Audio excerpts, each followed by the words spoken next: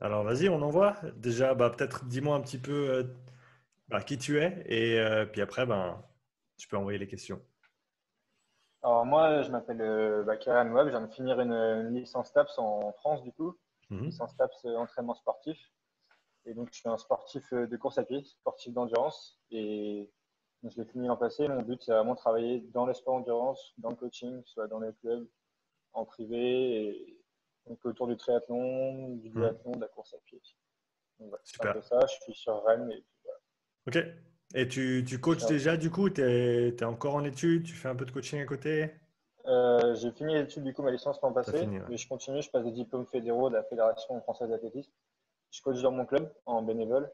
Et je coach des amis en, en privé pour l'instant. Donc c'est à peu près tout pour l'instant. Mais j'espère intégrer un master l'an prochain et, et que ça décolle un petit peu. Ok, super. Bah alors vas-y, comment je peux t'aider Alors moi, mes, questions aujourd'hui, ça va vraiment tourner autour de, de, comment aider un jeune coach, parce que ça me correspond à moi déjà. Et ça va tourner autour de ça, vraiment toutes mes questions au final. Mais après, il y a plusieurs thèmes sous-jacents. Donc l'Amérique du Nord, ton parcours à toi, parce que je pense que ça va être super inspirant pour les, pour les jeunes. Et puis après, il y aura des petites questions un peu plus, euh, un peu plus simples, on va dire, où je pense que tu réponds un peu plus rapidement. Alors, tu me parles souvent de vous chercher les connaissances. Donc, moi, je, tu me poses la question là-dessus. Quel hmm. podcast, tu conseilles? Et j'aurai juste à la fin une petite question un peu plus spécifique entraînement, vraiment. Mais tout le reste, c'est vraiment du, des conseils que tu pourrais donner pour, pour se lancer. Super, ben vas-y alors. Bon, moi, la première question, c'est juste, voilà, toi aussi, qui es-tu? Comment tu arrives au coaching et comment, qu'est-ce qui t'a fait partir en Amérique du Nord, de Suisse et tout, ça, enfin, ton, ton, ton, parcours quoi. Ouais, ça marche. Bah écoute, je suis parti je suis parti de la Suisse parce que j'en avais marre d'être en Suisse. J'ai fait mon service long à l'armée et c'était super. Hein. J'ai beaucoup appris, j'ai beaucoup aimé ce que j'ai fait, mais j'avais juste plus envie d'être là quand j'ai terminé ça. Ce qui fait que j'ai pris mon sac à dos. Je suis parti en Australie pendant six mois tout seul. Pas de téléphone, pas d'ordi, juste moi. Et je suis revenu en Suisse. J'avais toujours pas envie d'être ici. Je suis reparti pour le Canada. Et du coup, après deux semaines au Canada, j'ai rencontré ma, future femme, ce qui m'a fait, ce qui m'a fait rester là-bas pendant près de huit ans. Et pendant que j'étais là-bas, j'avais commencé à découvrir un petit peu le CrossFit déjà euh, avant de partir. Euh, je me suis lancé dans le CrossFit une fois que j'étais là-bas. J'ai pris quelques cours à CrossFit Vancouver avec euh, Emily Beers, qui est une des coachs là-bas qui a, qui a, fait les Games il y a quelques années en arrière. Et j'aimais bien m'entraîner, mais j'avais jamais vraiment envie de faire de la compète. par contre, après, quand j'ai trouvé l'altéro, là, j'avais vraiment envie, donc je me suis lancé dans le sport en tant que tel. J'ai fait quelques compétitions en Colombie-Britannique, donc à Vancouver. Et puis, euh, en parallèle de ça, je travaillais, je faisais de la peinture en bâtiment à l'époque. Mais euh, je passais euh, une dizaine d'heures par semaine à m'entraîner. J'adorais lire des bouquins. Je me rappelle, j'avais le gros pavé de Science and Practice of Strength Training par Zatsiorski et Kramer que je traînais dans mon bus. les, bases. Les bases, ouais. Que je traînais dans le bus en allant au boulot j'écoutais des podcasts quand je, quand je peignais mes maisons et un jour, ma femme m'a dit, écoute, il euh, faudrait que tu te fasses payer pour tout ce travail que tu fais, toutes les études que tu fais en plus. Et c'est là que je me suis dit, ouais, c'est juste, il faut que je me lance dans, dans le truc. Quoi. Donc, euh, j'ai arrêté mon job.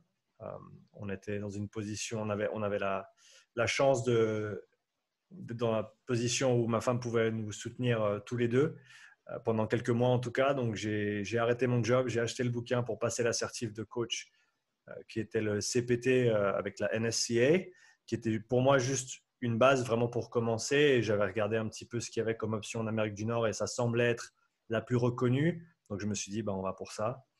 Euh, j'ai lu le bouquin plusieurs fois, j'ai passé l'examen deux ou trois mois plus tard.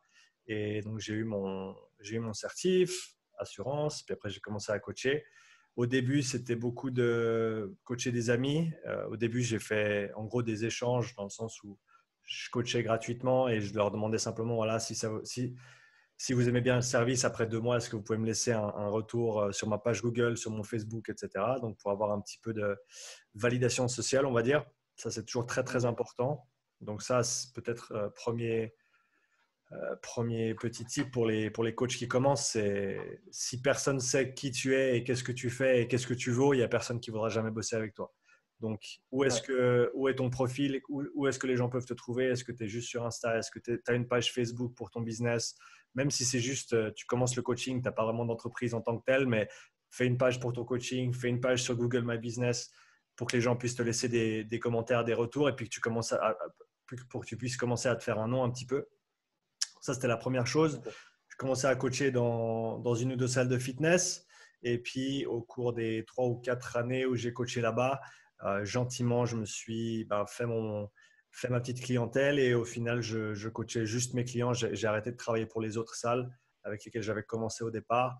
Et j'ai terminé par juste coacher mes clients. Je coachais, je crois, entre 25 et 30 heures par semaine. Donc, j'avais une bonne base de clients quand même dans un petit studio euh, où je louais du temps simplement. Euh, donc, j'avais trouvé une, opportunité de faire ça. Une amie qui avait une salle en fait et qui avait, il y avait assez de place pour deux coachs et, deux, trois clients à la fois en tout cas. Et donc, euh, on a, fait ça. Ça marchait bien. Donc, moi, je payais à l'heure. Donc, je n'avais pas de, de, de, grosses mensualités à payer, etc. C'était par rapport aux heures que je faisais, ce qui était un bon compromis de mon côté, même si c'était peut-être un petit peu cher, entre guillemets, de l'heure pour ce que j'aurais pu payer dans d'autres salles. C'était un cadre privé, c'était très bien pour mes clients. Donc, moi, ça m'a bien convenu tout de suite. Et puis après, bah, écoute, il y a bientôt deux ans de ça, on est rentré en Suisse, euh, là où j'ai grandi, donc à Nyon, près de Genève. On n'est pas loin de la frontière euh, française.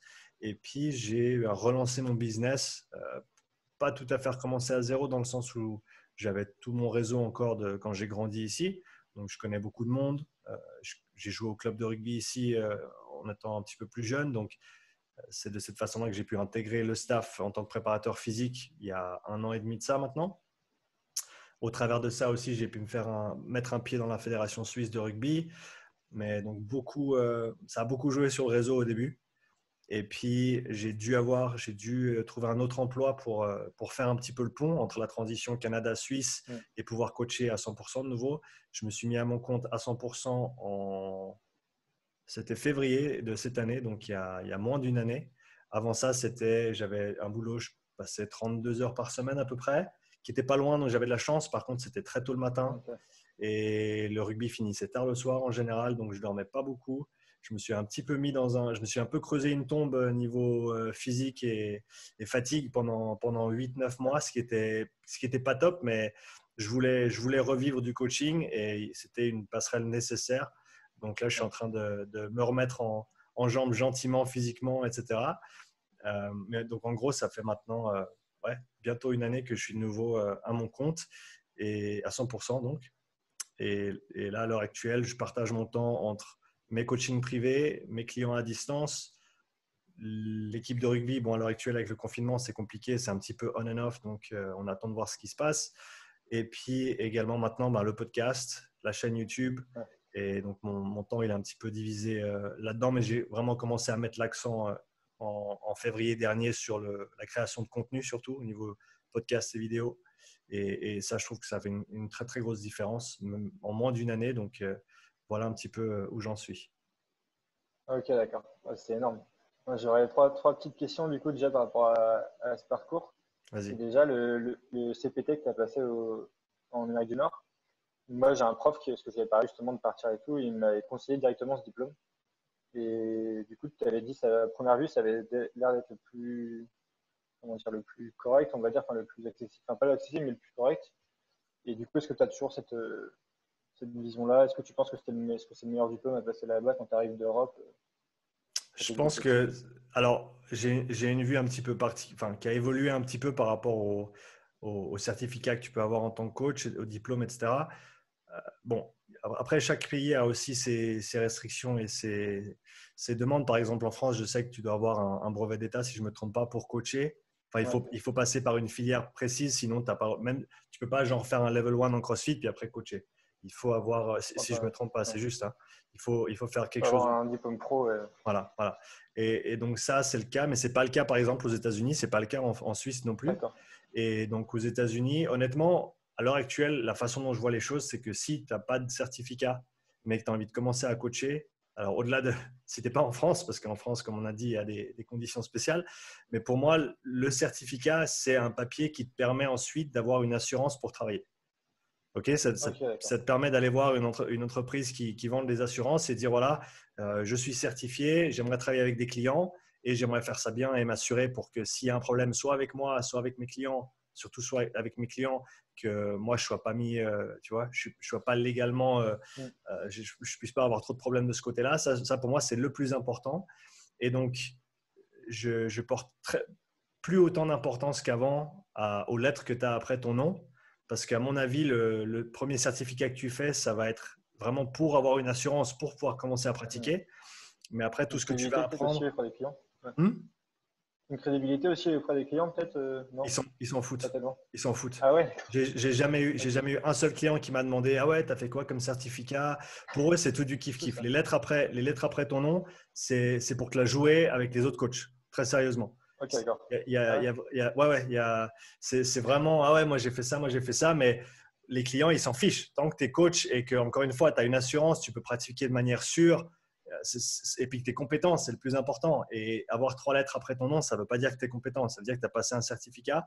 Et, encore une fois, le, contenu de la grande majorité des, certificats, des diplômes, etc., surtout ceux qui sont faits directement en ligne, ça ne t'apprend pas à devenir coach, ça t'apprend à peut-être planifier des séries et des répétitions et savoir ce que c'est de la force et euh, de la force explosive et de la vitesse et de l'endurance, etc.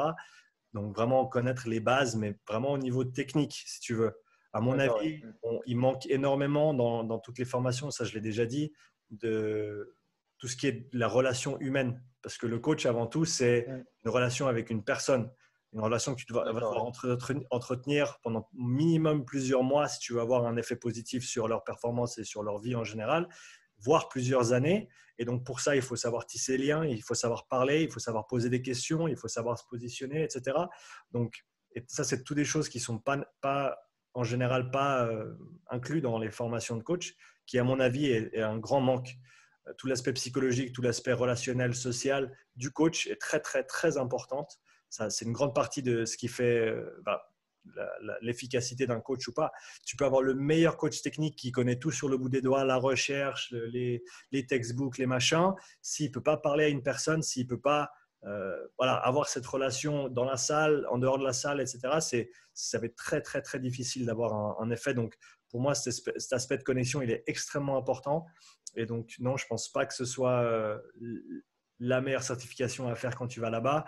Honnêtement, je si c'était à refaire, alors soit je referais la même parce que ça s'est très bien passé et bah, j'ai pu avoir mon assurance et, et, commencer à pratiquer en tant que coach, soit je chercherais la moins chère qui me permette ensuite d'avoir une assurance et le delta entre ce que j'ai payé et ce que je paierais pour une formation moins chère mais qui me permettrait quand même d'avoir euh, une police d'assurance, je l'investirais dans soit un internat, soit d'aller bosser avec des coachs, en faire un stage en gros avec, avec des coachs de la région qui s'y connaissent.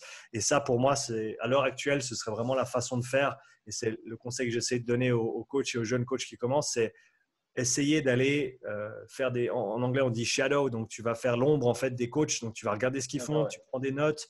Euh, peut-être après, tu peux leur poser des questions. Et ça, je pense que c'est, tu vas en apprendre infiniment plus en faisant ça qu'en passant une autre formation euh, X, Y ou Z, surtout si tu as déjà une formation de coach, si tu peux déjà pratiquer. je ne dis pas que les séminaires, les certificats en ligne, etc., pas, ça n'a pas de valeur. Bien sûr que ça en a, mais il faut savoir pourquoi tu les fais. S'il te, faut de la, s'il te faut plus de pratique, moi, j'irai voir un coach qui fait ça à temps plein. Je lui dirais, je, tu les contactes, tu le contactes, on contacte plusieurs dans ta région et tu dis, écoute, euh, je, te, paye un repas, j'aimerais bien voir comment tu travailles, je suis en train d'apprendre, etc. Je suis intéressé par euh, la façon dont tu travailles. Est-ce que je pourrais venir voir une séance avec un de tes clients, avec une de tes équipes, juste pour prendre des notes et, vraiment apprendre? Euh, Je pense que ça, c'est la meilleure façon que tu vas pouvoir, tu vas pouvoir avancer au début. Et après, c'est clair que s'il y a des certificats dont tu as besoin pour pratiquer d'une certaine manière, pour faire certaines choses, je veux dire, tu peux faire du euh, du, cross-training sans avoir un CrossFit level 1, level 2, level 3. Tu vois, euh, tu, peux, tu peux faire du travail de mobilité sans faire le FRC ou le FR ou le kin stretch. Tu peux faire toutes ces choses-là. Après, voilà, tu peux pas te dire, voilà, j'ai le titre, machin, mais encore une fois, le titre, c'est ce que c'est, c'est un titre. Après, c'est ce que tu en fais. Tu vois, par exemple, moi, je suis certifié FRC, euh, qui est Functional Range Conditioning qui est une formation de, très axée mobilité active. Euh, et il y a un autre coach ici à Genève qui s'appelle Kevin, K-Swiss, s'il écoute, euh, qui lui a fait FRC et Kin Stretch.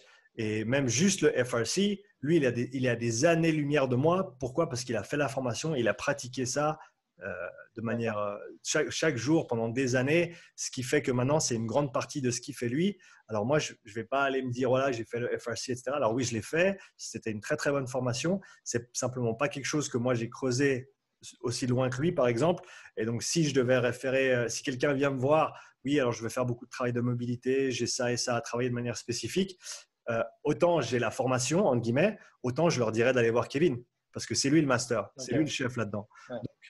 Voilà, je pense qu'il faut bien réfléchir quand tu choisis de faire des formations. Il ne faut pas faire des formations pour les faire. Il faut vraiment qu'il y ait un, un, but pour toi et que tu, tu en tires vraiment quelque chose. Euh, mais voilà, c'était peut-être une façon un petit peu longue de dire que les lettres après le nom, ça vaut moins que ce que la plupart des coachs pensent.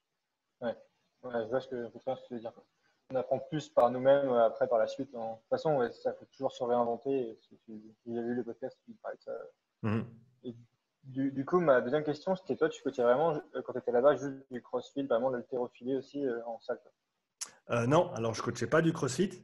Je coachais pas de l'haltérophilie non plus. J'avais un ou deux clients qui aimaient bien les mouvements d'haltéro, donc on les travaillait. Mais j'étais pas un coach d'haltéro à proprement dit. Moi, je m'entraînais, je faisais de l'haltéro, où j'ai fait pendant un an et demi, deux ans. Mais après, la plupart des clients que j'avais, c'était population euh, générale, c'était monsieur et madame tout le monde. Euh, il faut, une des choses auxquelles il faut penser en tant que coach, c'est alors oui, on veut travailler avec des athlètes, oui, on veut travailler avec des sportifs, mais en général, il y a une déconnexion entre euh, ou un manque de. il y, a, disconnect en anglais, j'arrive pas à trouver la traduction parfaite, mais la, en, en, gros, en général, les athlètes et les, sport, les, les, gens qui sont très sportifs, ils ont rarement beaucoup d'argent à dépenser. ok? Et il faut te dire, voilà, qu'est-ce que, tu, qu'est-ce que tu veux faire en tant que coach? Est-ce que tu es prêt à bosser pour pas trois fois rien parce que tu as envie de bosser avec des athlètes qui n'ont pas nécessairement les sous pour te payer? Ou est-ce que tu es OK de bosser avec euh, monsieur et madame tout le monde qui qui ont un salaire, etc., qui peuvent se permettre tes services, qui fait que tu peux peut-être euh, demander un petit peu plus pour tes services? Donc ça, c'est aussi une réflexion qui est, importante à faire. T'as pas besoin d'être, ça n'a pas besoin d'être l'un ou l'autre. Tu peux très très bien faire les deux. Mais, mais je pense qu'il faut, il faut avoir conscience du fait que tu peux pas te lancer et te dire voilà, je veux que travailler avec des athlètes parce que c'est le coach que je veux être, etc. Et te dire euh, je, vais, je vais en faire ma vie du, jour au lendemain. Tu vois ce que je veux dire? D'accord, ok. Et du coup, après, ma question, c'était vraiment plus euh, pour un sportif, pour un entraîneur dans les sports d'endurance, du coup, tu n'as pas de diplôme particulier comme conseiller en arrivant de Mike Junior, c'est plus, euh, plus vraiment aller voir des coachs tout ça. Alors, je sais qu'il y a des, il y a des formations que tu peux trouver. Euh, un nom qui vient à l'esprit, c'est Brian McKenzie, qui a bossé pas mal dans le coaching, je sais, dans les, dans les sports d'endurance, euh, pardon, dans le crossfit et dans les sports d'endurance avant ça. Donc, s'il a une formation, je regarderai là-dedans. mais, mais après, voilà, sport d'endurance, c'est assez large. Donc, euh, est-ce qu'il y a une formation de, course à pied, par exemple, que tu pourrais trouver? Euh, Ce que je te conseille dans le domaine, c'est simplement va, va écouter quelques podcasts, va trouver quels sont les grands noms dans le, dans le monde du coaching des sports d'endurance. Je sais qu'il y a, comment il s'appelle, le gars qui bosse avec euh, Matt Fraser, puis tous les autres gars, et, et, Miss qui font du CrossFit aussi, qui est coach de, de course à pied, justement. Euh, peut-être que je sais que lui, il a des séminaires, peut-être qu'il a une formation en ligne aussi à suivre qui peut être intéressante. Donc, moi, je me dirigerai là-dedans, je regarderai qui, voilà, qui est à la tête du truc un petit peu, qui bosse avec les meilleurs. Et après, en général, en 2020, ils ont tous un cours en ligne à suivre ou quelque chose comme ça. Ça peut te donner une très très bonne base pour commencer, euh, sans nécessairement aller chercher un, certificat X ou Y. Donc, je pense que ça, ça, ça peut te donner une très très bonne base pour commencer. Ouais. Ok, d'accord. Ok, super. Et du coup, j'ai une petite question, c'était vraiment sur les. Est-ce que tu as vu des différences, même sur les, sur les gens, les athlètes, les clients que tu peux avoir entre la Suisse et le Canada? Est-ce qu'il y a vraiment une différence flagrante que tu vois Je dirais que la plus, ouais, la, la, plus grosse différence entre les deux continents, ça va être que le fitness en général est beaucoup plus populaire en Amérique du Nord qu'ici. Autant ici, ça commence gentiment à, à monter. Monsieur et madame tout le monde maintenant comprennent que d'aller au fitness, ça, peut être bénéfique pour eux, pour leur santé, pour leur bien-être. Et donc, ils vont être plus enclins à le faire. Il y a 10 ans en arrière, ce n'était pas du tout le cas. Euh, et, donc, je pense que c'est un bon moment pour. Euh, c'est toujours un bon moment pour commencer, parce que ça va que aller en montant. On le voit avec euh, tout ce qui se passe avec le Covid. Hein. Si tu es en meilleure forme, tu as, moins de chances d'avoir des soucis. Et, et, ça, c'est vrai avec ce qui se passe maintenant et c'est vrai avec tout en général si tu es, plus fort, tu es plus endurant, tu vas simplement avoir une, vie d'une qualité nettement meilleur. Et ça, les gens, ils se rendent compte maintenant. Et, ils se rendent compte aussi que voilà, si je fais du sport et que je veux aller un petit peu plus loin, euh, ben, juste faire le sport, ça suffit plus. Maintenant, il y a du travail à faire à côté, que ce soit en renforcement, en endurance, en vitesse, etc. Donc, ça se démocratise de plus en plus. Il y a de plus en plus d'opportunités. Donc, je pense que ça, monte gentiment, même si on est encore pas mal en retard sur l'Amérique du Nord. Je dirais que c'est la plus grosse différence. Et, peut-être aussi tout ce qui est du travail supplémentaire, travail de, ouais, de, préparation physique, on va dire, qui est très, très bien accepté euh, en Amérique du Nord de manière générale pour les sportifs. Alors qu'ici, il y a encore quelques réticences euh, sur certains sports, sur euh, certains athlètes qui disent ah non moi je veux pas faire ça parce que machin. Encore une fois de, de, moins en moins parce que tu vois les pros qui le font tous donc voilà tout le monde part un petit peu dans ce sens-là. Mais voilà je, dirais que c'est vraiment ça la, la, grosse différence entre les deux s'il y en avait vraiment une. Ouais, c'est ce que me disait un prof euh, à la fac justement. Il me disait la grosse différence entre la culture anglo-saxonne et nous, c'est que les enfants des, des petits, ils ont la culture d'aller à la salle d'aller faire de l'exercice à la salle. Et nous, mm. bah, c'est du plein beaucoup plus en France, tout ça. Mm. Donc, euh, ouais, rien à voir là-dessus, c'est sûr. Et après, euh, mes, questions suivantes, c'était. Je vais changer un peu de, sujet. Vas-y, vas-y. C'était plus. C'était. Euh, non, c'était quoi C'était plus sur ouais, YouTube, les réseaux sociaux, tout ça. Ouais. J'ai vu justement, j'ai regardé ton, ton, podcast avec euh, K-Swiss Show.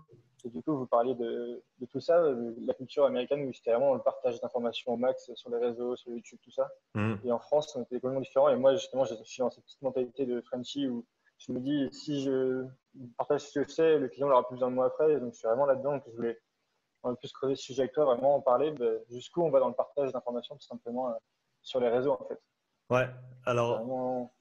J'ai décidé, c'était, c'est une réalisation qui m'est venue euh, suivant une discussion avec quelqu'un qui m'avait aidé initialement à, mettre en place mon site web quand j'étais au Canada, qui se focalisait lui sur le marketing pour, euh, en gros, pour les, les, coachs, donc tout ce qui est marketing digital, etc.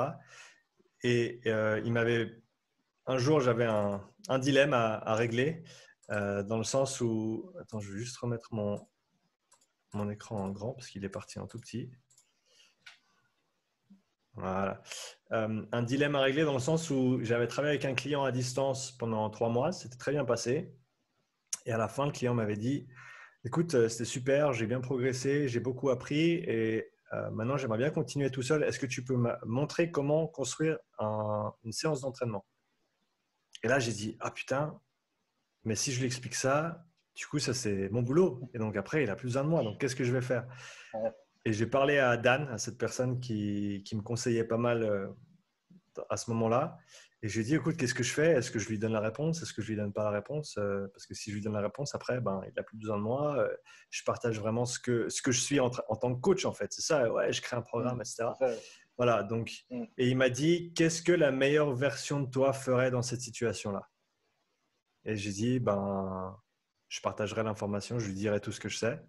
Et il a dit, ben là, tu as ta réponse, il faut faire ça. Et c'est là où je me suis rendu compte, en fait, c'est à ce moment-là que j'ai switché, en fait. Et je suis passé de, ah, faut pas que je dise trop, parce qu'après, sinon, plus personne n'a besoin de moi. Et je suis passé complètement de l'autre côté. Et j'ai dit, non, en fait, c'est le fait que je partage qui va faire que les gens me respectent pour euh, pas qui je suis, mais pour le travail que je fournis et pour les informations que je partage aussi.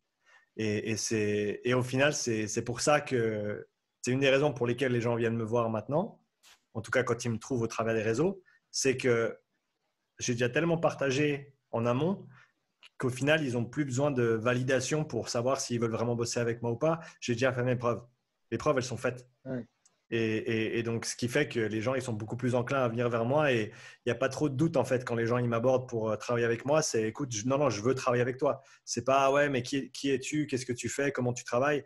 Tu as tellement parlé que bah, récemment, les deux, trois nouveaux clients que j'ai eus, c'était pas des euh, ah, dis-moi un petit peu plus sur tes services. C'était non, non, je veux travailler avec toi. Ça fait six mois que je te suis, huit mois que je te suis, dix mois que je te suis et j'aime beaucoup ce que tu fais. Et là, pour moi, c'est le bon moment. Donc, allez, go, on y va.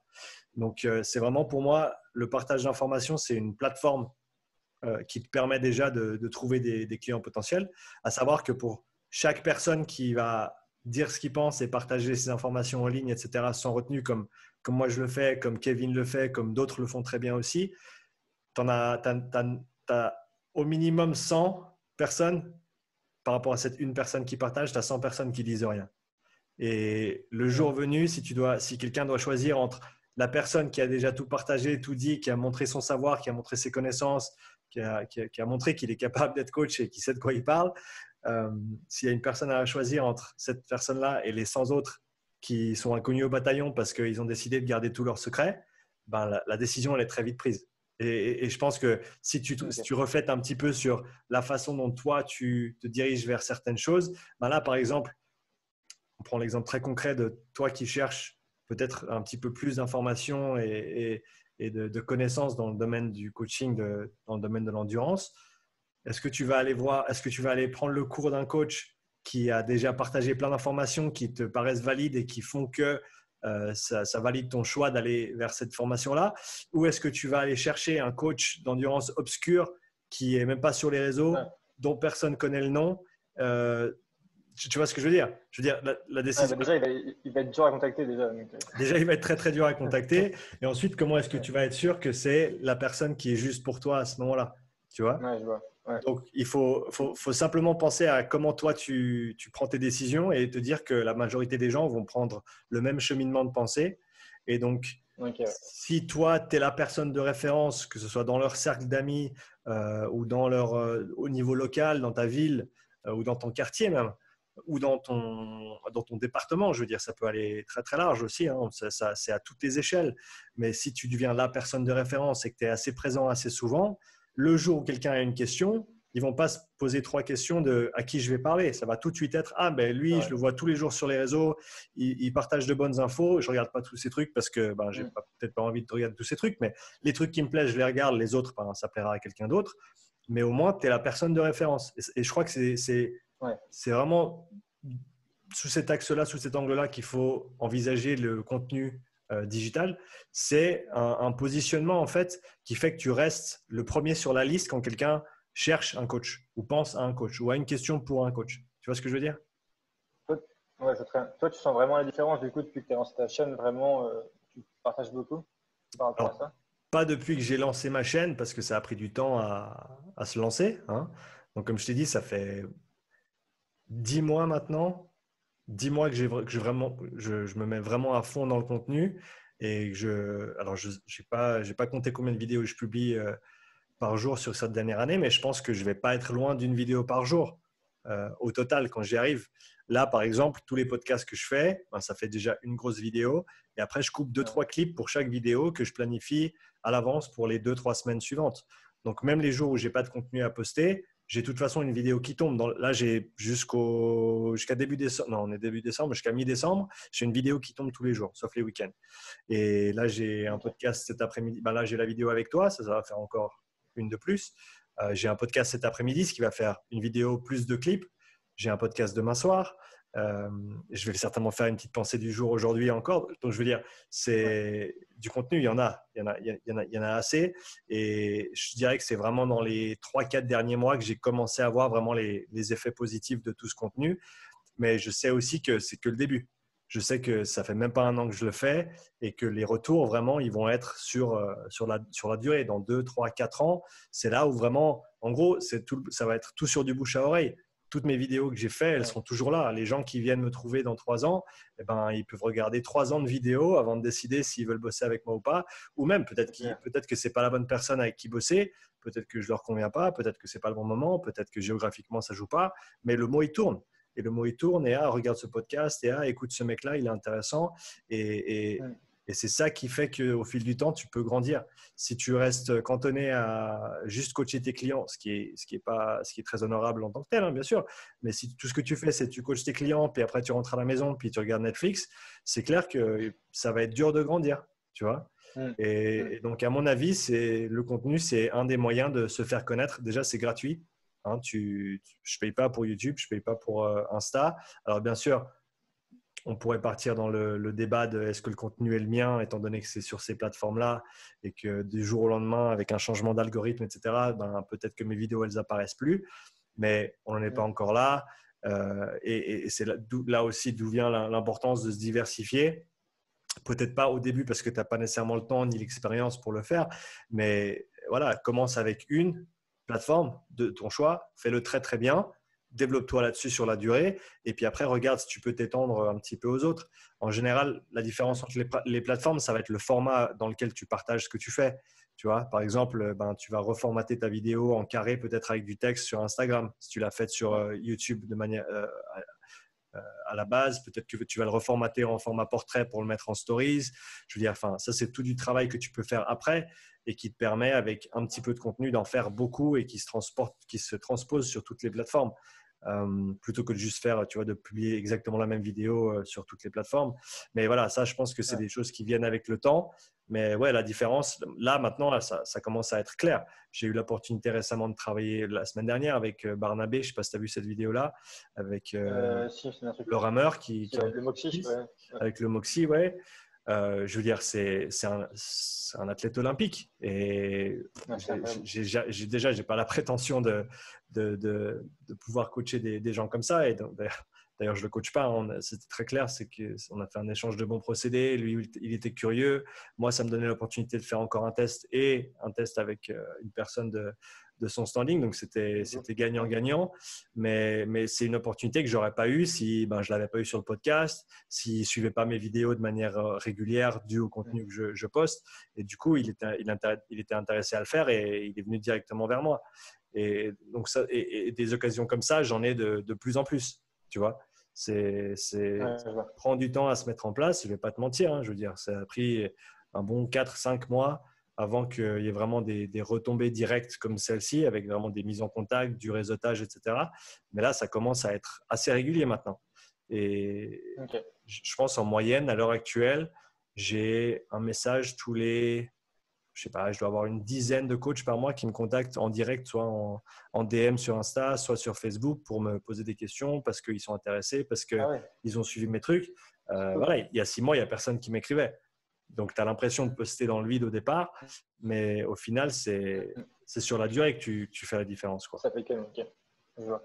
Parce qu'en fait, moi, je dis ça parce que j'ai créé une petite page Insta il y a cet été.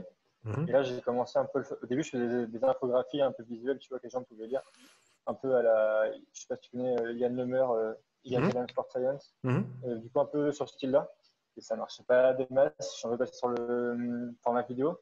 Et en fait, le truc, c'est que les formats vidéo que je fais, moi, en fait, c'est des exos de, de, gamme athlétique, si tu veux, pour la course à pied. C'est exactement les vidéos que je redonne à mes athlètes après que je coach un petit peu en privé. Mhm. tu vois, là, tu me dis où est la limite tu vois, entre moi, ce que je peux apporter et ce que je donne sur les réseaux. Tu vois. Je pense que, là... ouais, à mon avis, c'est. À mon avis, il faut, faut rien retenir. Parce que, encore une fois, tu, mets-toi dans le. Dans la... Imagine, il y a un coach qui est exactement comme toi, qui a toutes tes connaissances, qui a ton parcours, qui a tes compétences. Et la seule différence entre toi et lui, c'est que toi, tu retiens un petit peu d'infos et que lui, il les partage toutes et qu'il n'a pas peur de, de, les dire. Mm. Encore une fois, quand tu vas et quelqu'un va devoir choisir entre les deux, qui c'est qui va gagner, entre guillemets?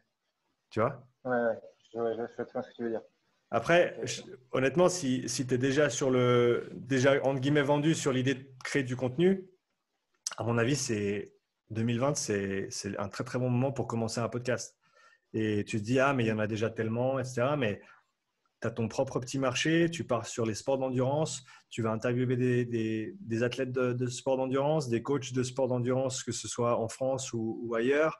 Euh, je veux dire, tu peux, tu peux te faire vraiment ta petite niche et, non seulement ça te fait du contenu qui est très très facile à partager, euh, parce que ce n'est pas, pas seulement toi qui parles, mais tu as aussi la validation indirecte dans le sens où les gens après t'associent avec tous ces coachs et tous ces athlètes que tu reçois sur ton podcast. Et ça. Bah, typiquement pour, pour toi, j'ai vu ta vidéo avec euh, Aurélien Broussal d'Herval, j'ai vu ta vidéo avec JB Morin, je me suis dit, bah, ok, ce mec-là, c'est sûr, c'est le top. Quoi. Quand qui vu ta vidéo, je me suis dit, bah, forcément, tu vois les noms qui sont associés. Moi, je me dis, si Aurélien Broussal fait une vidéo avec toi, c'est que c'était pas un tocard, c'est ce que je veux dire. Voilà. Et donc, et donc ça, ça fait, ça fait partie du jeu aussi. Tu vois, est-ce que tu peux collaborer avec des, avec des gens comme ça? Et, et c'est pas pour. Euh, voilà, le but, c'est jamais de tromper euh, les, gens ou les auditeurs ou, ceux, qui, te suivent. Bien sûr, c'est pas les, parce que après voilà, faut qu'il y ait de la substance derrière ce que toi tu, apportes aussi. C'est clair que si toi tu, tu tu vaux pas dessous, mais par contre tu t'associes, puis après derrière les gens sont déçus quand ils viennent te voir parce que c'est pas ce qu'ils attendaient. Là il y a là il y a un problème. Donc faut faut rester bah, faut rester vrai dans les propos que toi tu tiens et il faut essayer de ton côté aussi de, donner un maximum et, d'essayer de bah, continuer à progresser, continuer à, t'éduquer en tant que coach. Et c'est ça qui va faire que sur la durée, tu, vas pouvoir être associé avec ces noms-là. Tu vois, est-ce que bah, j'ai eu la chance de j'ai la chance d'adorer ce que je fais au niveau du podcast. Et donc, je passe pas mal de temps à préparer mes interviews, à rechercher les, euh, les invités et à faire une belle liste de questions et avoir des, des questions un petit peu euh, plus pointue peut-être que, que, pertinente et que j'ai pas entendu sur d'autres podcasts, tu vois. C'est facile d'aller écouter trois podcasts avec euh, JB Morin, puis après d'écrire trois, dix questions qui, qui, ont déjà été posées.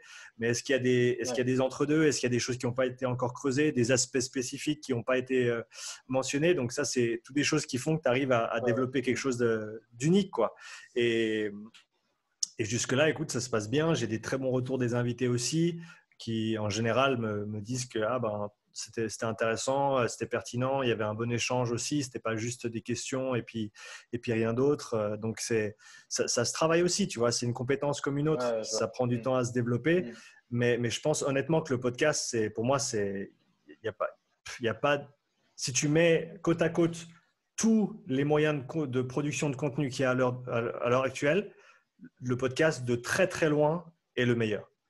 Parce que non seulement c'est du contenu de long format que les gens apprécient de plus en plus.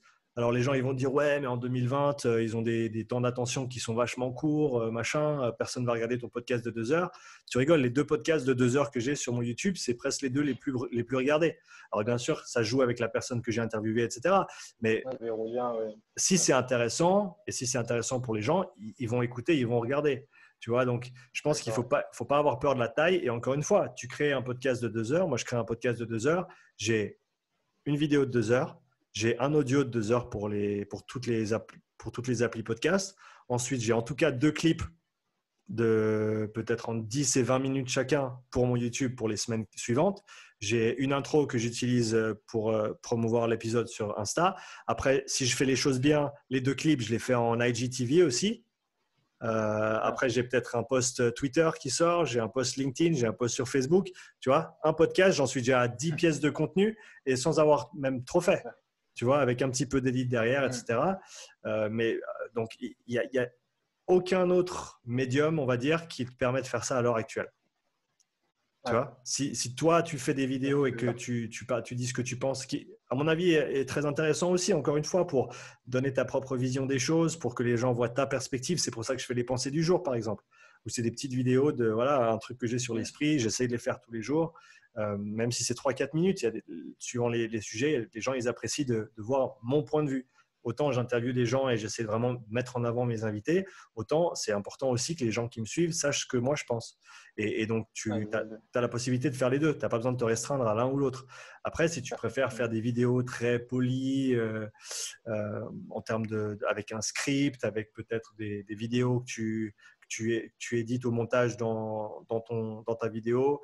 Je veux dire, chacun, fait, chacun fait à sa sauce. Et c'est ça qui est beau aussi avec la production de contenu, c'est qu'il n'y a personne qui te dit quoi faire.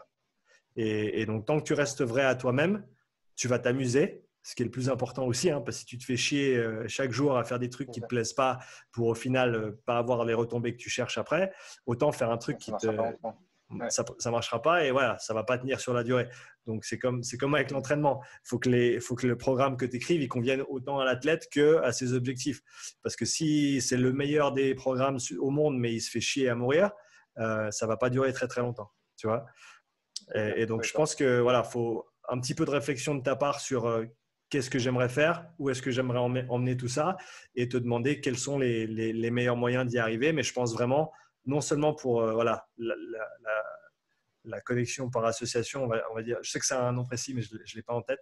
Euh, et, et, autant pour ton éducation aussi, toi, en tant que coach. Je veux dire, moi, j'ai plus appris cette dernière année sur les. J'ai fait quoi maintenant 94 interviews. Euh, pour le podcast. Ce que tu disais, Pardon, 84 interviews. J'ai appris plus cette année que certainement les 3 ou 4 années d'avant combinées. Et ça m'a forcé à creuser dans des, choses dans lesquelles je n'étais pas confortable. Ça m'a forcé à, développer certains aspects de mon coaching que peut-être auxquels je pensais même pas avant, parce que je, on ne sait pas ce qu'on ne sait pas. Donc, il y, a toujours quelque chose que tu vas apprendre de quelqu'un, tu vois. Surtout quand tu parles à des, à des gens, de, des coachs de renommée, des athlètes de haut niveau, etc. Ils ont toujours des perspectives qui sont parfois uniques et, euh, et ça te permet vraiment de, de, faire la différence. Donc, ouais, à mon avis, y a, y a, voilà, ça te coûte quoi? Ça te coûte 10 balles pour hoster ton, ton podcast sur Podbean. Et, après, voilà, c'est bon, ta chaîne YouTube, ta vidéo, ta audio, et, et c'est parti. Et au début, voilà, au début, c'est dur. Au début, il faut faire la promotion. Au début, il faut, faut, faut, faut, cravacher parce que tu es tout seul et parce qu'il n'y a personne qui sait qui t'es.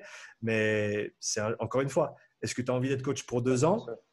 Euh, alors peut-être que le faire un podcast, c'est pas la meilleure solution. Est-ce que tu te vois encore coacher dans 10 ans, peut-être dans 20 ans même? Alors là, c'est clair que tu veux un investissement à long terme et quelque chose comme un podcast ou, du bon contenu vidéo ou audio même, ça peut, ça peut vraiment faire la différence. Ouais, c'est cool. Je comprends fait ce que tu veux dire. Et du coup, pour rester sur les podcasts, euh, quel podcast tu conseillerais du coup euh, anglophone, ouais, plutôt anglophone parce que les ressources sont vraiment là-bas au niveau des sports endurance, du coup, pour rester dans, dans les thèmes sports endurance, si tu en as comme ça en tête. Alors, je suis, je suis sûr qu'il y en a plein. je n'écoute pas énormément de, de contenu de manière spécifique sur le sur l'endurance à proprement dit ou sur les sports d'endurance, mais je suis certain que tu vas sur iTunes ou sur Spotify et tu cherches triathlon, tu cherches course à pied en anglais et en français et tu vas voir les gros qui sortent. Et, en général, c'est, tu peux être confiant que s'il y a une grosse base d'auditeurs, la qualité, elle va être là aussi. Tu vois, ils, ils, mettent pas les podcasts qu'ils mettent en premier, c'est pas les, c'est les, les, meilleurs, tout simplement. C'est ceux qui sont le plus écoutés, le plus respectés. Donc voilà, je partirai autant sur des podcasts spécifiques, autant voilà, je cherche quelques noms dans le domaine de l'endurance. Euh, je te dis Brian McKenzie qui, me revient en tête. L'autre coach qui, encore une fois, je ne me rappelle plus de son nom, qui, bosse avec les crossfitters, mais ça, si tu le cherches un peu, tu vas le trouver. Euh, euh, tu tapes leur nom dans iTunes ou dans, dans podcast ou dans Spotify, et puis tu regardes, tu écoutes tous les, tous les interviews qu'ils ont fait. Au travers de ça, tu trouveras peut-être des podcasts qui sont bien, tu trouveras peut-être d'autres coachs qui sont intéressants.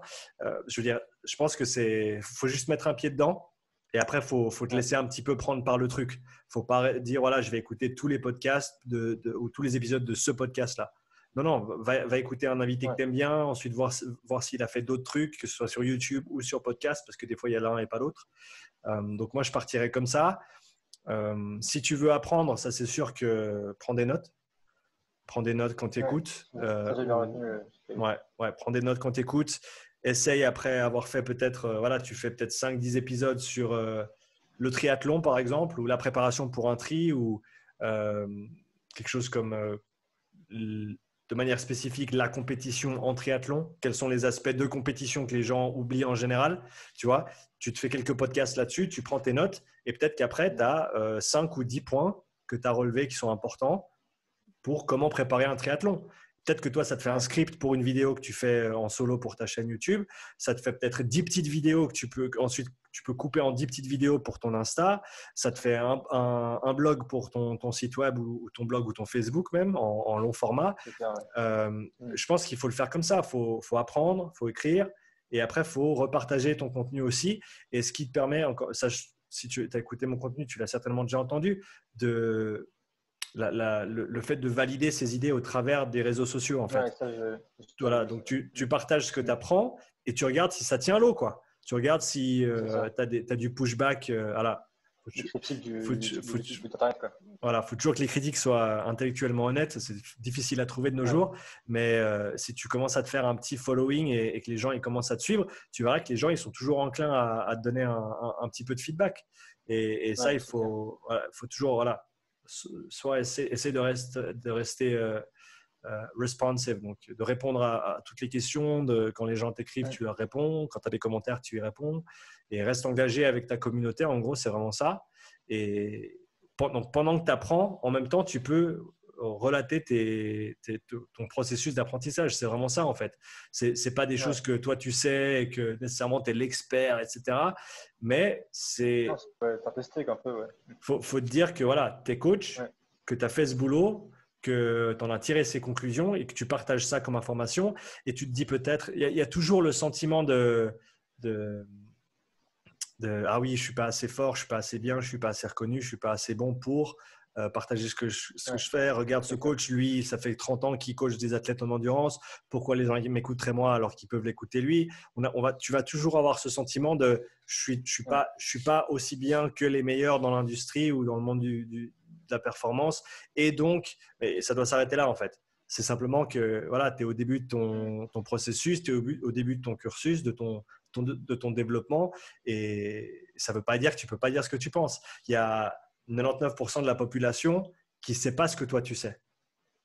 Alors, il y a 99,9% de la population qui ne savent pas ce que les, meilleurs coachs savent, tout ce que les meilleurs coachs savent. Mais par contre, toi, tu t'es déjà démarqué par rapport au grand public, ça c'est sûr. Tu vois? Rien que du fait que tu as, as, fait cette démarche déjà d'être coach et de, de, continuer ton apprentissage. Donc, il ne faut pas avoir peur de partager. Il y aura toujours des gens qui en savent plus que toi, ça c'est sûr. Mais il faut dire qu'il y a une grande majorité des gens qui en savent moins que toi et qui peuvent bénéficier de ces informations, aussi simples soient-elles. Ça n'a pas besoin d'être super pointu, ça n'a pas besoin d'être super compliqué. Peut-être c'est voilà, il y, a, y a, pas mal de monde maintenant. C'est, je veux dire, le tri, c'est un, un, très beau sport. Il y a pas mal de monde qui se lance dedans en disant voilà, je veux faire mon premier, euh, mon premier tri, etc. Alors peut-être que ça, c'est un sujet de conversation pour toi. Tu vois, comment préparer son premier triathlon euh, quelles sont les choses auxquelles penser, les pièges dans lesquels il ne faut pas tomber. Ça, c'est toutes des informations qui, peut-être pour toi, te paraissent complètement anodines et, bêtes et, basiques, mais pour la plupart des gens, c'est de l'information en or. Et c'est par là qu'il faut commencer. c'est clair. C'est vrai que ouais, c'est clair, je suis d'accord. Et après, question, petite question suivante, c'était par rapport euh, à la littérature scientifique. Je sais que nous, à la fac, euh, en général, c'est PubMed où on dit d'aller vraiment chercher les articles. Mhm. Mais des fois, c'est pas tout à fait évident de trouver les, bons mots-clés, tout ça. Je voulais savoir si tu as simplement une autre base de recherche ou on peut mettre pour. Non, je pense, je, pense que c'est une des, une des bases de données euh, les plus complètes et les plus utilisées. Donc, je partirai là-dedans. Après, et ça, c'est une remarque que j'ai entendue. Qui c'est qui m'avait dit ça? Euh, Ah ouais, comment ça s'appelle? Pagel, Yuri Pagel, que j'ai eu récemment sur le podcast, qui, qui a dit quelque chose de très pertinent à mon avis, qui est que avant de te lancer dans la lecture de, papiers scientifiques ou de recherche, euh, déjà, il faut avoir une très très bonne connaissance générale du domaine. Ça ne sert à rien d'aller creuser dans les trucs super pointus, parce que les études, c'est ça, hein, c'est un tout petit point euh, dans l'océan d'informations dans ce domaine, tu vois, parce que c'est avec une certaine population, c'est sur un certain temps, c'est un certain protocole d'entraînement, ça ne peut pas être tu peux pas faire de parallèle entre ça et tout le reste. Et donc, à mon avis, il faut avoir déjà une très bonne connaissance générale du domaine avant d'aller te plonger dans des papiers. Et après, une fois que tu... Et ça, je le sais de pas d'expérience, mais parce que Evan, quelqu'un avec qui je parle pas mal, lui, il le fait beaucoup. Il lit un papier, mais après, il va essayer, il va, il va chercher à lire tous les papiers en référence du papier aussi, ou tous les papiers dans lesquels ce papier a été cité. Donc, tu t'éparpilles pas. Tu, suis en fait un, fil conducteur. Tu trouves peut-être la plus grosse étude ou la méta-analyse. Et après, tu vas lire tout ce qu'il y a dessous. Et c'est ça qui va te permettre, au travers de la recherche aussi, d'avoir une bonne compréhension d'ensemble de, ce qui se passe. Et pas juste dire j'ai lu un papier et voilà, ça c'est la vérité et ça change tout. Non, non. Il faut, il faut, si tu vas dans cette direction-là, il faut prendre le temps de le faire bien.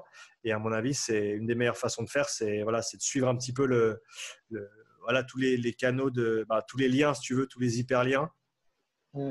euh, dans, un papier et après aller lire tout ce qui est. Qui est alors voilà, ça fait beaucoup de travail, ça fait beaucoup de lecture, mais mm. si tu veux vraiment euh, aller dans, dans, ce domaine-là de, de, voilà, lecture de, de, travaux scientifiques et de recherche, et après peut-être relater tes trouvailles, tes conclusions, tes, euh, tes summary, tes, euh, c'est pas un sommaire, c'est un.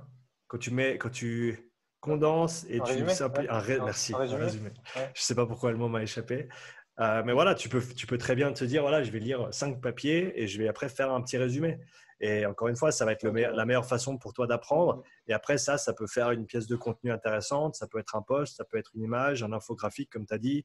Euh, il y, a plein de façons de le faire. Mais je pense que vraiment documenter, en gros, ton processus d'apprentissage et de, et de, au, fur et à mesure que tu emmagasines les, les connaissances, c'est ça qui, c'est une des meilleures façons de faire parce que tu n'as pas besoin de te creuser la tête pour te dire ah, qu'est-ce que je vais dire aujourd'hui. Euh, en général, mes pensées du jour, ça, ça émane d'une conversation que j'ai eue ce jour-là, soit avec un de mes clients, soit une vidéo que j'ai vue, soit un podcast que j'ai écouté. Il ne faut pas aller chercher trop loin. Quoi. Le, pose des questions à, tes, à, tes, athlètes, à tes clients, demande-leur ce qu'eux, ils veulent savoir. Euh, quelles sont leurs euh, top 3 questions à l'heure actuelle, que ce soit pour l'entraînement ou pour la nutrition ou pour euh, toutes ces choses-là. Et réponds à ces questions-là. Et non seulement ça te fait du contenu, mais en plus, ça fait du contenu pour tes clients. Et, tes clients et tes athlètes, ils, ils, vont toujours apprécier quand tu fais un truc pour eux. Tu vois on se dira putain mon coach et, tu passes et là tu passes du statut de coach de ah ben je le vois juste une heure ou deux heures par semaine ah ben c'est un mec que je respecte que je suis sur les réseaux qui qui, partage des informations que tes clients et tes athlètes vont certainement partager ensuite s'ils trouvent que l'information est, de qualité donc c'est faut voilà faut, prendre cet angle là quoi toi, toi, tu utilises encore les mail la littérature, tout, tu, tu vas chercher par toi-même encore ou... Ouais, dans certains domaines dans certains domaines. Là, à l'heure actuelle, je fais beaucoup de, de recherches dans tout ce qui est de la. Non, beaucoup de recherches, c'est un grand mot. Euh, je m'intéresse énormément à tout ce qui se passe au niveau du système respiratoire. Euh, un sujet très intéressant d'ailleurs pour toi au niveau endurance. Et, il, y a il y a pas mal de littérature de, sur le sujet. En gros, du, du, bénéfice que peut avoir le renforcement des euh, muscles respiratoires et expiratoires. Voilà, diaphragme et la, musculature générale du, système respiratoire. Après, comment le faire? Quels sont les bons protocoles? Comment le tester? Est-ce que tu utilises des mesures de volume? Est-ce que tu utilises des mesures de pression? Ça, c'est toutes les choses qui, que je suis encore en train d'étudier parce qu'il n'y a pas de réponse super claire dessus. Donc, euh, voilà, j'ai trouvé une. Euh, c'est pas une méta-analyse, mais c'était un, sommaire, de, un résumé de, de une trentaine ou une cinquantaine de papiers, je crois, sur le sujet. Et donc ça, je l'ai lu une fois. Et l'étape suivante, c'est de le relire et après d'aller voir tous les papiers qui sont en lien dans ce papier. Mais voilà, ça va prendre un moment. Euh, c'est pas quelque chose que je fais tous les jours. Je sais qu'il y a des, il y a des coachs qui, qui sont vraiment dans cet esprit-là et, je respecte énormément hein, de prendre le temps chaque jour pour lire peut-être un ou deux papiers. Tu vois, euh, j'ai pas, j'ai pas cette régularité à l'heure actuelle. J'ai d'autres priorités aussi, mais donc j'utilise, oui, les, les articles de, de recherche, j'utilise dans, certains domaines, pas toujours. Parce que c'est vrai que dans d'autres domaines, il y a beaucoup de monde qui ont fait énormément de bon travail de vulgarisation et tu n'as pas besoin. Par exemple, tu veux apprendre, euh, tu veux en apprendre plus sur l'hypertrophie et la nutrition pour euh, gagner de la masse musculaire, euh, tu, vas, tu vas écouter toutes les vidéos que Renaissance Periodization ils ont mis sur, sur YouTube. Ils ont des, des, des, présentations de je ne sais même pas combien d'heures de, contenu ils ont, ils ont produit jusque-là, mais surtout, hein, ça passe des trucs les plus basiques à comment timer tes macros dans la journée par rapport à tes compétitions, par rapport à ci, par rapport à ça, suivant ton niveau, qu'est-ce que tu dois faire. C'est extrêmement pointu, extrêmement précis. Eux, ils ont fait tout le travail de, de, synthétiser la, la recherche. Toi, tu n'as pas besoin de le faire tu vois. Donc, je pense qu'il faut, faut, faut, faut, bien réfléchir avant de te lancer plein pied dans, euh, voilà, je vais, euh, je vais lire tous les papiers sur la, qui sont en lien entre la nutrition et la santé, par exemple.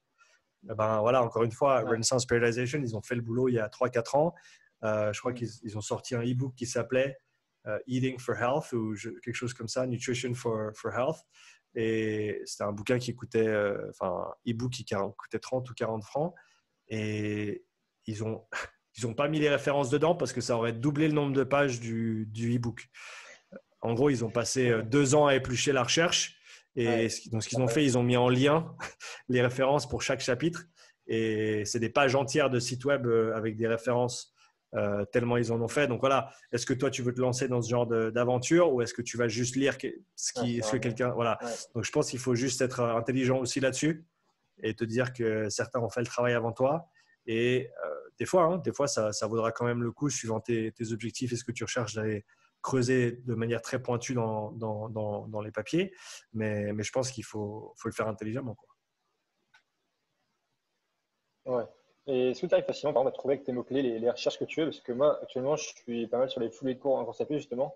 Mmh. Et c'est difficile de trouver des choses vraiment spécifiques à ce que je veux. Parce qu'il y a beaucoup d'études qui sont faites sur les athlètes à 10 et 12 km/h, qui ne sont pas très spécifiques, on va dire, beaucoup d'athlètes de bon niveau, donc c'est assez difficile de trouver vraiment spécifiquement ce qu'on veut, on va dire, Ouais, alors écoute, euh, ben, très très simplement, j'écrirai un petit message à JB Morin et puis euh, je lui demanderai quelles sont les meilleures ressources dans la littérature pour tout ce qui est de l'endurance. je sais que, attends, il y a un nom. parce qu'à un moment donné, je m'étais intéressé. Il y avait un de mes, un athlètes qui faisait du, qui courait des marathons. Et j'avais creusé un petit peu et je me rappelle qu'il y avait un nom qui était ressorti. Ben, encore une fois, j'avais contacté un coach que je crois que c'était Derek Hansen que j'avais contacté parce que je, l'avais vu deux, trois fois. Je lui parlais un petit peu. Il était à Vancouver aussi. Donc j'ai dit, ouais, je cherche des références dans, en la matière de travail de course d'endurance, etc. Et il m'avait donné deux noms à, à aller creuser et j'avais trouvé des papiers, j'avais trouvé un bouquin, donc moi, j'irais comme ça. Regarde, euh, ouais, JB, il est à fond dans la course, en plus côté sprint, et à fond dans la recherche aussi. Donc si tu lui dis, écoute, je cherche deux, trois personnes, deux, trois auteurs de référence dans, le, dans ce qui est de, la foulée, dans, dans la course d'endurance, euh, lui, va pouvoir te sortir les noms et, te pointer dans la bonne direction. Moi, j'irais comme ça. Ouais, j'ai pensé à ça justement, j'ai pensé, mais je me suis dit, est-ce qu'un chercheur comme ça va prendre le temps de te répondre a si je me disais aussi par timidité un peu, j'hésitais.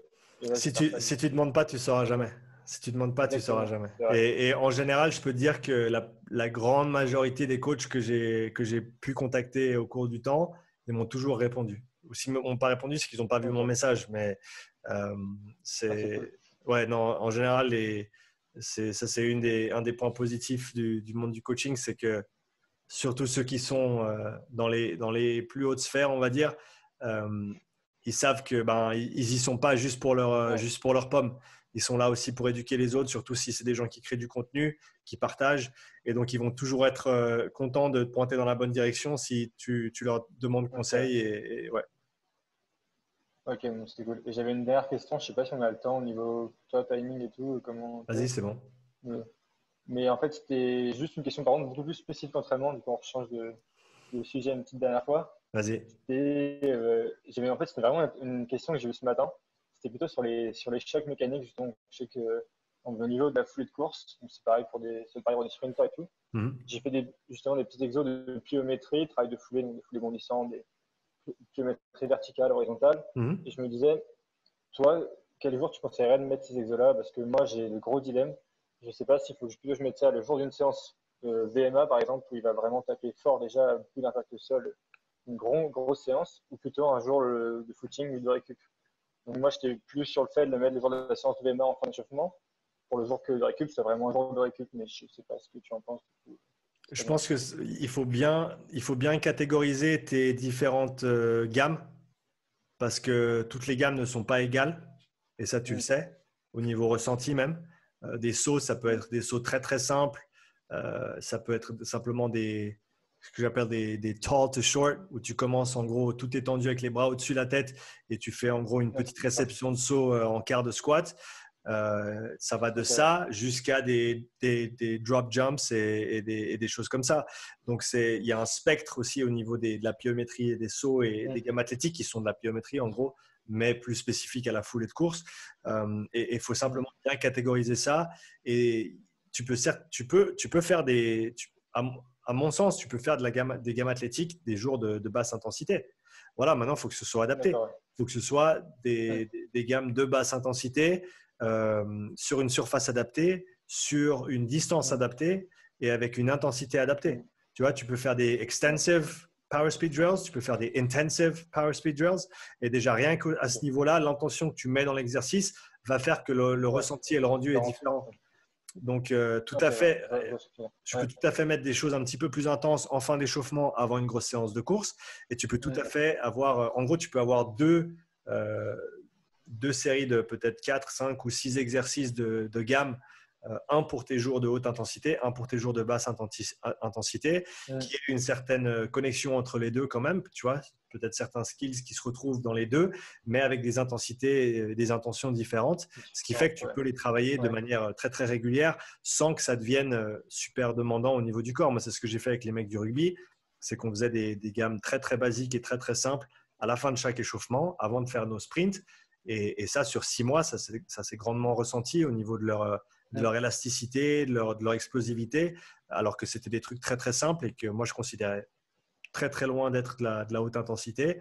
Euh, c'était vraiment de la, la, fondation quoi. Et ça tu peux ça tu peux en faire. Mais encore une fois c'est c'est important de catégoriser les choses et de savoir après qu'est-ce que tu veux en retirer. Et ça ça va ça va te dire comment les programmer, quels exercices sont appropriés et voilà, avec quelle intensité, quelle durée, quelle longueur, etc. Ok, d'accord. Là, pour l'instant, je reste vraiment sur euh, qualité, intensité max, mais vraiment quantité très réduite. De toute façon, la pliométrie, c'est moi ce que j'ai appris, c'est vraiment être sur de la qualité de mouvement et pas en faire énormément, mais vraiment viser la qualité de l'exécution. C'est mmh. vraiment ce que je préconise. Euh, du coup. Ouais, mais tu vois, par exemple, tu peux faire un, tu peux faire un escape sur, euh, tu peux faire un escape sur 20 mètres sur de l'herbe avec une intensité assez. Moi, c'est quoi escape? J'ai pas les, les termes en anglais. Escape, c'est quand tu passes d'une foulée à l'autre assez rapidement avec un, double bond sur la jambe. Ah si tu vois ce que je veux dire. Euh, et donc, ça, ce sera un escape de, base. Et donc, encore une fois, tu peux le faire sur 20 mètres sur de l'herbe avec une intensité réduite, ou tu peux le faire euh, sur piste avec intensité et intention max sur 30 mètres. Euh, c'est pas du, ça devient, c'est mm. pas du tout le même exercice, tu vois. Euh, donc, donc, et, certains, certains sauts en plio, tu vas vouloir les faire une fois, pas dix fois à la suite. Tu vois, si tu, pars de, des, des euh, ankle hops, des bons juste avec les chevilles, qui seraient, si tu veux, là, pour moi, les, sans trop y réfléchir, mais un des exercices les plus basiques au niveau plio, jusqu'à des, des, sauts répétés par-dessus des haies, qui sont extrêmement demandants et, et très, très durs, et tu ne les donnerais pas à tout le monde, tu vois. Il y a un monde entre les deux. Et, donc, c'est à toi de décider euh, comment ce, monde se, segmente et après, quel segment est approprié à quel moment de la, semaine ou avec quel niveau d'athlète, etc. Ok, ouais, ouais super. Impeccable. C'est exactement ce que je, ce que je faisais, donc c'est génial. Super. Euh, moi, c'est fini pour moi, en tout cas, toutes ces questions. Je veux te remercier pour, pour l'échange super intéressant. C'est pas mal de, conseils que je vais pouvoir, pouvoir appliquer. J'ai déjà réécouté le podcast et, et tout ça. Merci beaucoup. Bah écoute, je t'en prie, euh, bah, je le mettrai en ligne sous peu, donc tu pourras le réécouter euh, tout vite là. Et puis merci en tout cas pour tes questions, merci d'être venu sur le coaching POV, ça fait plaisir. Et puis euh, si tu as d'autres questions, n'hésite jamais en tout cas. Ok, d'accord, merci beaucoup. Super. Super Ciao Kyrian, bonne journée à toi. À bientôt.